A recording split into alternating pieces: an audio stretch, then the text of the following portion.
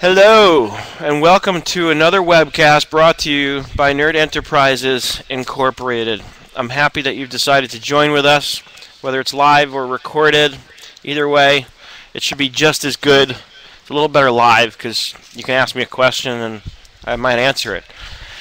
Very quickly, before I get into today's content, I want to go over what we're looking at here. I've got the Nerd Enterprises Inc. Learning Center. We have QuickBooks classes, we have Excel classes, PowerPoint, Outlook. Let me spend a second on Outlook here. I know everybody thinks they know how to use Outlook. You can get your email, you can create folders and file your email, but I can guarantee you there's some tricks I can show you in Outlook that when I show you them, you're going to say, oh my god, I can't believe you could do that. Productivity downloads. Go to our website. The orange button on the left is the one that says Learning Center and in there you'll find all the downloadable products. We have classes in Outlook and all these classes. We have uh, the productivity downloads is one of the topics in the first row, and in there you have some Excel spreadsheets I've created that you'll find will help you increase productivity. There's an hourly biller. There's a margin scenario calculator, which is uh, much more than a profit margin calculator. It lets you play with different scenarios and see, well, if I want to lower the total price, how many fewer units can I sell based on that, and so on and so forth. And of course, webinars, which is sort of what you're seeing right now. Kinda. You can click these links. If you're watching this on YouTube, the links won't work, but if you're watching this directly off of one of our sites, then they will. It means it's playing in your Flash player, and these links are live. You can go right to the QuickBooks blog. The main blog or our main website. And the main website is where you'll find the Learning Center. Let's get on with business. I want to teach you something about Excel today because we haven't done much in Excel in a while. So we're going to do Excel. And I saw something on the web. A lot of times I'm inspired by what I see others doing in terms of tutorials on the web. And I noticed something earlier this week that somebody was doing a tutorial on conditional formatting in Excel. So I thought I would do one. Of course, I'll do it better. Just kidding. But I want to show you how to do something pretty cool. This is something actually that I do a lot when I create a timesheet or anything that has anything to do with dates or date sensitivity. Let's say, for example, that I'm laying out a timesheet one of the most critical things, of course, in a timesheet is that I have to lay out the date, and sometimes it's handy to have the weekday. I'll show you an extra bonus tip on that.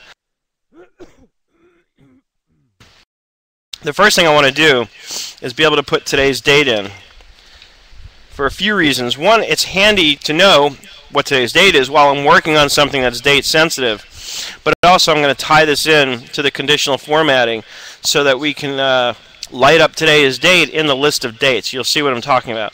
In order to get today's date in a cell, I start out with an equal sign. I type the word today and simply open and close parentheses. And Excel will pull it right off the clock. I can format this date any way I want. Control and the numeral 1 will bring up my Format Cells dialog. That's the shortcut. And you'll see my options in terms of date formatting. I can even go with the long form but I'm not going to. I personally prefer the double digit format. That way the dates always line up nicely. Now let's say we're going to start with the date section of the timesheet. And let's say we want to set up a timesheet for an entire month, even though the month is almost over. We'll put in 8109, and then I can actually simply add to that by typing the plus sign and saying take what's in the cell above and add 1 Let's copy that down. I need to widen this.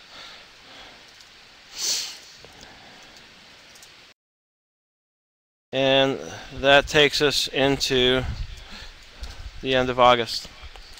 Again, control 1 and we will format for double digits. Now comes the fun part. We want to do conditional formatting. So if I go over into, you know, it's funny, I know the shortcut key, I don't remember where it is in Excel 2007 exactly. But if I go here, right on my home tab is conditional formatting. That's a tricky one. Now, you can play around with these options here, but for this purpose, I want to show you how to just start off with a brand new rule.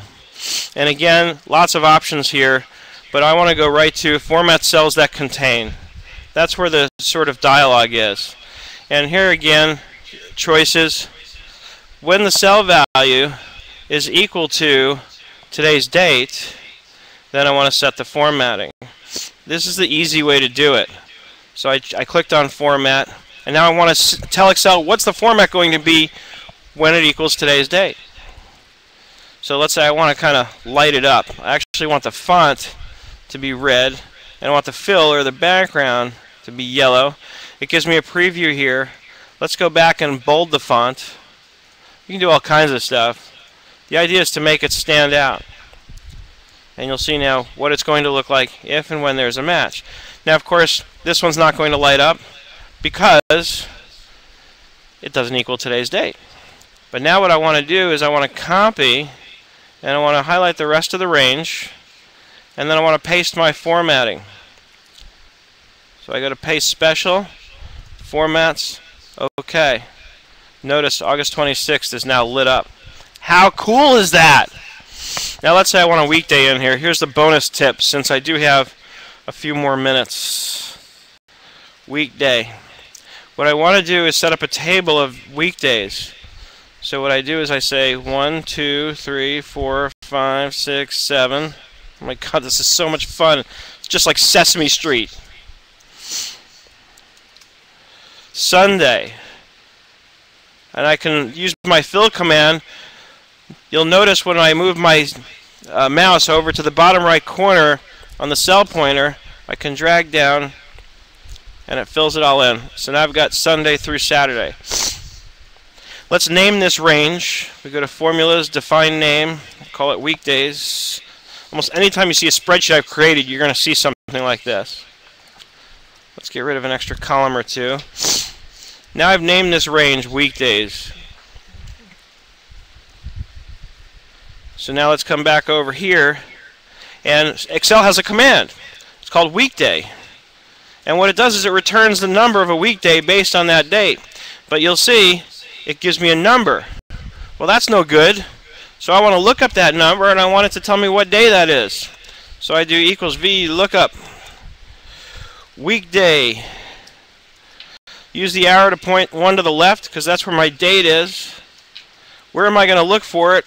Well, I just named a range called weekdays and it's going to pull the result from column number two. And there it is. And because I named the range, I don't have to worry about relative referencing or any of that stuff. And I'm good to go. And now I can have description and so on and so forth. This is how you do it. So now I've taught you bonus stuff. I've got you the conditional formatting, and I taught you how to do a simple VLOOKUP on a simple named range to produce a nice result. And of course I can come back here and I can use the full day instead of using the abbreviation. And by simply changing it here you'll see it will change instantly over here. And you might want to left justify these. It'll probably look a little prettier. And that is pretty much it kids so uh, visit us on the web at www.nerdenterprises.com and ask us any questions we'll give you the answers we'll tell you how to live your life no I'm just kidding but visit us on the web and check us out. I hope you enjoy our webcasts.